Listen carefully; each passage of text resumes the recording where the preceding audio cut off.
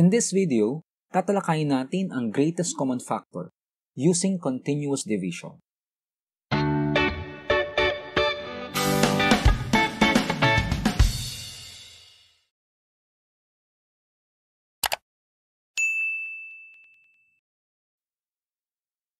What is greatest common factor? It is the highest number that can be used to divide two or more numbers without any remainder. Pinakamataas na numero na magagamit na eksaktong panghati o pang-divide sa iba pang mga numero. Example, let's have two numbers. 8, meron itong factors na 1 times 8 at 2 times 4. Another number, 20, meron itong mga factors na 1 times 20, 2 times 10, at 4 times 5. Ngayon pansinin, may mga common factors ang 8 at 20. Ito yung 1, 2, at 4. Mapapansin na ang 4 ang pinakamataas na value ng common factor. So ito ang greatest common factor or GCF. So ang GCF ng 8 at 20 ay 4. 8 divided by 4 equals 2 at 20 divided by 4 equals 5. Now let's take a look at continuous division. 8 and 20. Kunin natin o solve natin yung greatest common factor or GCF ng 8 at 20 using continuous division. First, divide the higher value by the lower value. So ang higher value nito ay 20. So divided by the lower value, 8. So 20 divided by 8. So 20 divided by 8 equals 2. 2 times 8, 16. 20 minus 16 equals 4. Next step, divide the previous divisor by the remainder. Ang previous divisor natin ay 8. So, i-divide natin ang 8 sa remainder, which is yung 4. So, 8 divided by 4. So 8 divided by 4 is 2. 2 times 4 is 8. Let's continue. 8 minus 8 equals 0. If the remainder is 0, the last divisor is the GCF. So, ang remainder natin dito sa huling division natin ay 0. So, ang GCF ay yung last divisor, which is 4. So, pareho ito nung ginamit natin kanina na pagkuha ng mga factors. Let's have another set of numbers. 8, 20, and 24. Let's use continuous division to solve for GCF. So first step, divide the highest value by any lower value. Highest value i, 24. So, divided by lower value, gamitin natin 20. So, 24 divided by 20 equals 1. 1 times 20, 20. Let's continue. 24 minus 20 equals 4. Okay? So next, divide the previous divisor by the remainder. Ang previous divisor natin ay 20. So 20 divided by 4, yun yung remainder. So 20 divided by 4 is 5. 5 times 4 equals 20. Let's continue. 20 minus 20 equals 0. Now, anong susunod? Divide the next number with the previous divisor. So, ang natitira nating number ay 8. So, gamitin natin yung 8 as panibagong dividend. Ngayon, gagamitin natin yung previous divisor which is yung 4 para ma-divide natin yung 8. So, 8 divided by 4. 8 divided by 4 is 2. 2 times 4 is 8. 8 minus 8 equals 0. So, what's next? Again, if the remainder of the last division is 0, the last divisor is the GCF. 0 ang ating remainder sa last division, kaya ang GCF ay 4. Yun yung last divisor. So the GCF is 4.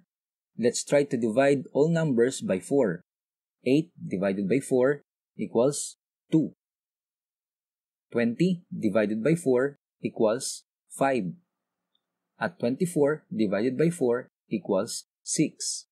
Mapapansin na wala ng common factors ang 2, 5 at 6. Lahat na yan ay nasa simple terms relative to each other.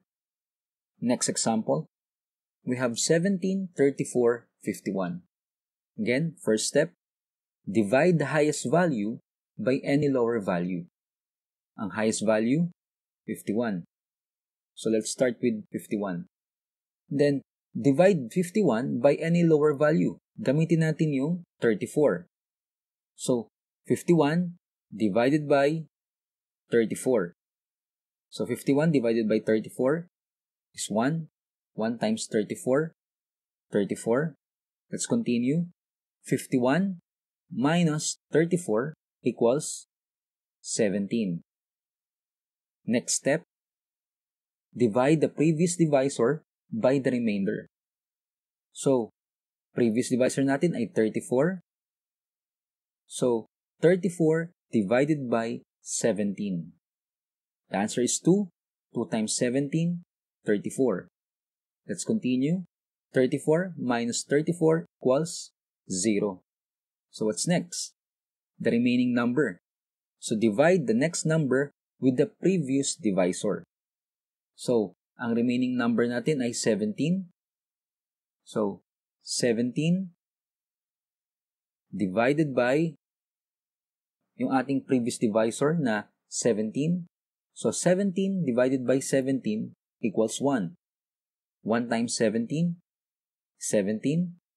Let's continue. 17 minus 17 equals 0. So again, this is the last division If the remainder is 0, the last divisor is the GCF. So, ang remainder natin ngayon ay 0. So, the GCF is 17. Let's see. GCF, 17. 17 divided by 17 equals 1. 34 divided by 17 equals 2. 51 divided by 17 equals 3. Let's have another set of numbers. 45, 72, 126. Divide the highest value by any lower value. Let's use 126, that's the highest value. Divided by any lower value, gamitin natin yung 72. So 126 divided by 72 equals 1. 1 times 72 is 72. Let's continue. 126 minus 72 equals 54. Next step, divide the previous divisor by the remainder. So, ang previous divisor natin ay 72. So, 72 divided by 54 equals 1. 1 times 54, 54. So, let's continue. 72 minus 54 equals 18. Next step, gamitin pa rin yung step 2, divide the previous divisor by the remainder. So, ang previous divisor natin ay 54. So, gagamitin natin 54 divided by yung remainder, which is 18. So, 54 divided by 18 equals 3. 3 times 18 equals 54. Let's continue. 54 minus 54 equals 0. Next, divide the next number with the previous divisor. So, ang next number natin ay 45. So, 45 divided by yung previous divisor, 18. So, 45 divided by 18. Answer, 2. 2 times 18 is 36. Let's continue. 45 minus 36 equals 9. So again, gawin natin yung step 2. Still, we have the previous divisor, 18. So 18 divided by the remainder. So 18 divided by 9 equals 2. 2 times 9, 18. 18 minus 18 equals 0. So, na-divide na natin yung lahat ng numbers na gamitan natin. 126, 72, at 45. Now, that's the last division. So, if the remainder is 0, the last divisor is the GCF. So, ang ating remainder ay 0. Kaya ang GCF ay 9. Yun yung last divisor, kaya yun yung GCF. So, let's use the GCF. 9. 45 divided by 9 equals 5. 72 divided by 9 equals 8. At 126 divided by 9 equals 14. Let's have a practice. Solve for the GCF of each set of numbers. Pwede mong i-pause ang video para masagutan. Let's start.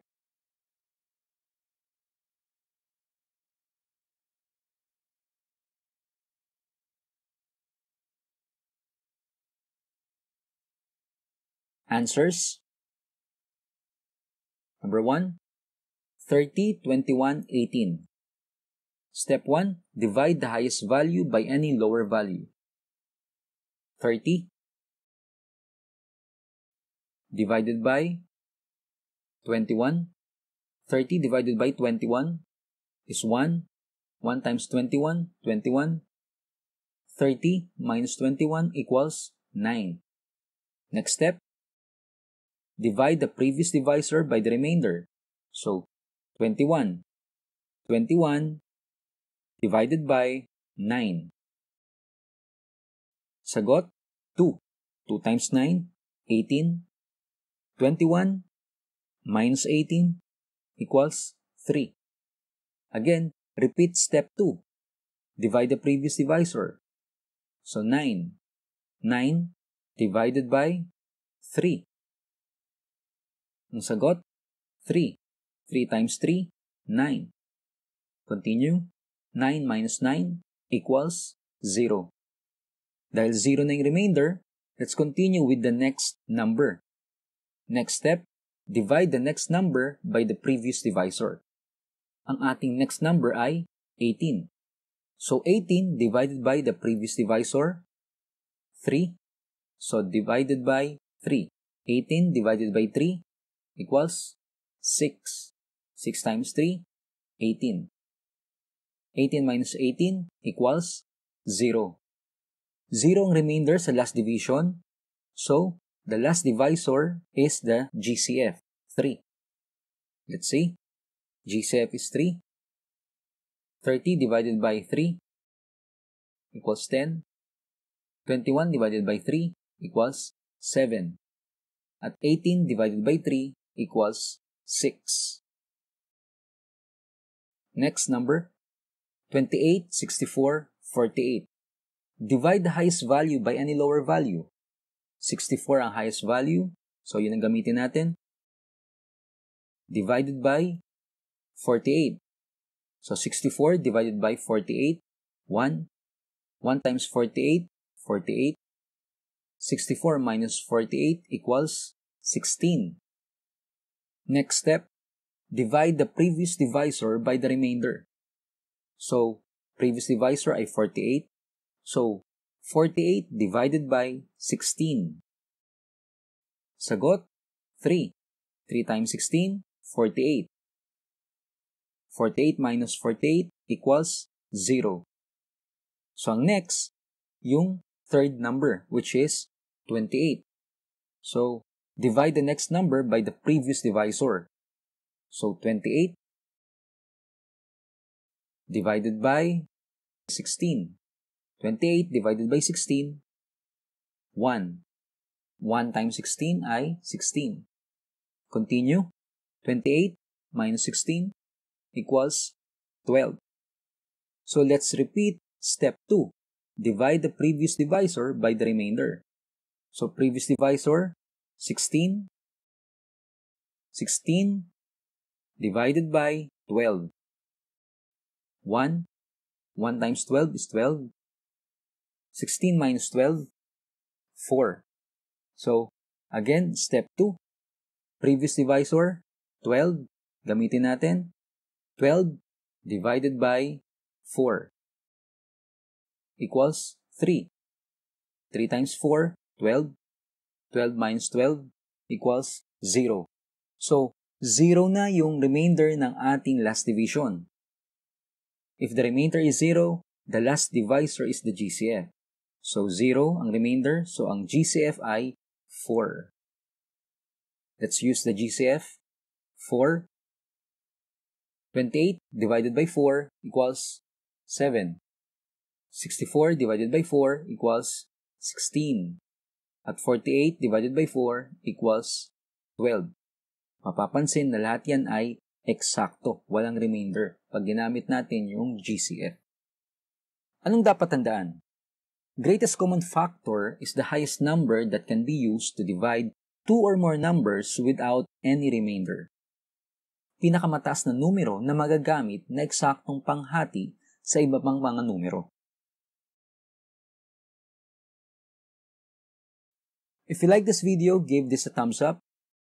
Don't forget to hit the subscribe button and the notification bell para updated kayo sa mga next videos. Thanks for watching. Till next time.